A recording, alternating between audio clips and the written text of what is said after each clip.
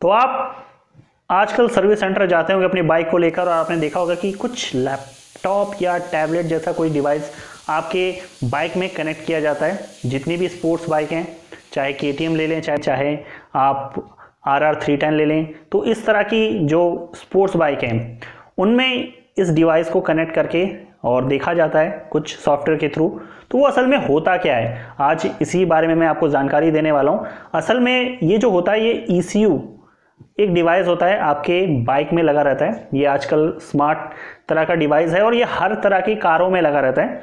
आप नॉर्मल से normal entry level की कार लें चाहे आप लग्जरी कार एसयूवी तक आप देखें तो सब में लगा रहता है। पर बाइकों में अगर नॉर्मल बाइकों में है तो उसमें नहीं है। उसमें आ, हाथ से ही सारा काम करना पड़ता है। पर आजकल की जो स्मार्ट्स बाइक हैं। उसमें एक स्मार्ट डिवाइस लगता है, जिसे ई e कहते हैं या ई e भी कहते हैं।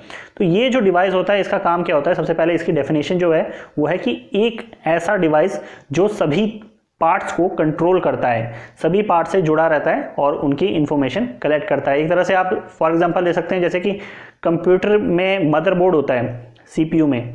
वैसे ही उसी तरह से ये रहता है डिवाइस ईसीयू जो सब एक पार्ट को कनेक्ट करके उनको रीड करता है।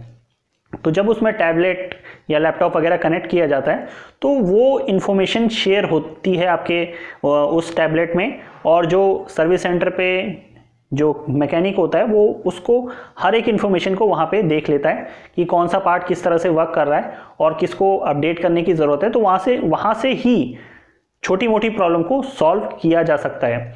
तो ये एक अच्छा डिवाइस है, जिसकी वजह से टाइम की बचत होती है साथ साथ में मिनटों में काम हो जाता है। और कुछ नए अपडेट्स आने पर इसे अपडेट भी किया जाता है डायरेक्टली और बाइक की जो परफॉर्मेंस है वो इन्हांस हो जाती है। फॉर एग्जांपल आप ले लीजिए, जैसे आप सॉफ्टवेयर अपडेट करते हैं मोबाइल के ऐप अपडेट करते हैं, वैसे इसमें भी जो सॉफ्टवेयर हैं वो अपडेट होते हैं, और बाइक की परफॉर्मेंस अपडेट करने पर बढ़ जाती है। तो आज की वीडियो में इतना ही। वीडियो पसंद आने पर लाइक करिए शेयर करिए चैनल को सब्सक्राइब करना ना भूलिए बेल आइकन को दबाने के साथ साथ और अगले टॉपिक के साथ फिर मिलते हैं। सी यू अगेन